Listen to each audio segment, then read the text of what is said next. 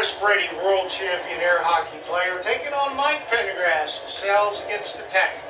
Oh, see ya, would never want to be on.